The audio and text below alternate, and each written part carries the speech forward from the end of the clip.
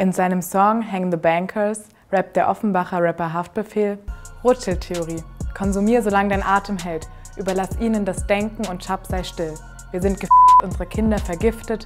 Alles hat ein Ende, auch diese Welt. Während ich dichte, kreisen die Chemtrails.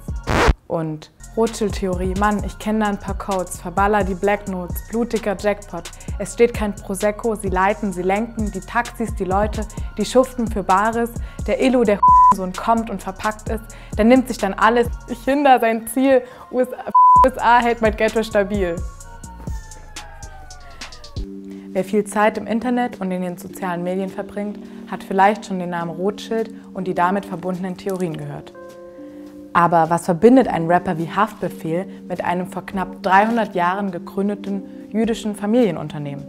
Zunächst nicht viel, außer dass der Gründer Mayer Amschel Rothschild wie Haftbefehl selber im damaligen Ghetto der Nachbarstadt Frankfurt am Main aufwuchs.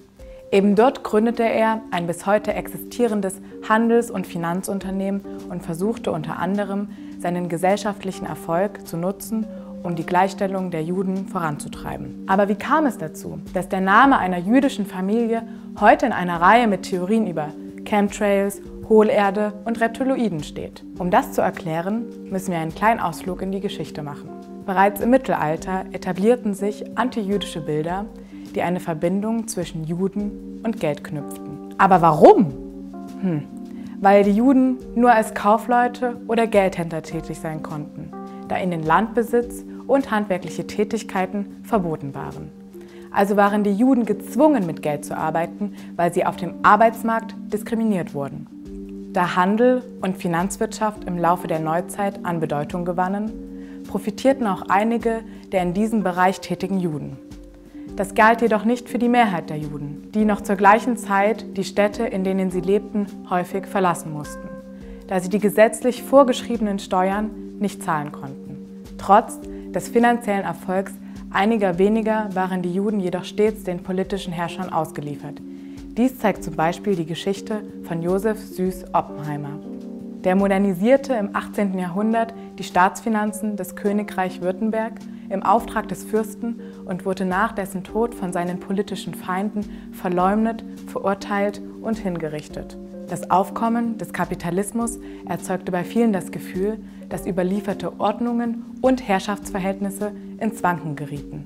Was einige gut fanden, wurde von vielen aber als verunsichernd und bedrohlich wahrgenommen. Neue Formen sozialer Ungleichheit und wirtschaftlicher Krisen zogen immer weitere Kreise.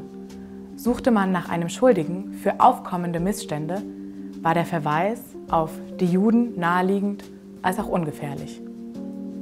Macht, Geld, Juden. Diese Verbindung hatte man schon über Jahrhunderte gesponnen und so glaubte man nun an eine angebliche jüdische Elite als Urheber aller mit dem Kapitalismus identifizierten Übel. Nach der Shoah war offener Hass gegen Juden in Europa ein Tabu. Und so fingen Rechtsextreme und andere Antisemiten damit an, Codewörter für die angebliche Verschwörung der Juden zu finden. Und so wurde der Name Rothschild zu einem international verbreiteten Code für die Verschwörungstheorien, die bewusst oder unbewusst Juden mit der Kontrolle von Finanzen und Kapitalismus identifizierten. Deswegen findet man diesen Namen in Songtexten, YouTube-Videos und Internetplattformen und manchmal auch auf Weinetiketten. Doch das ist eine andere Geschichte.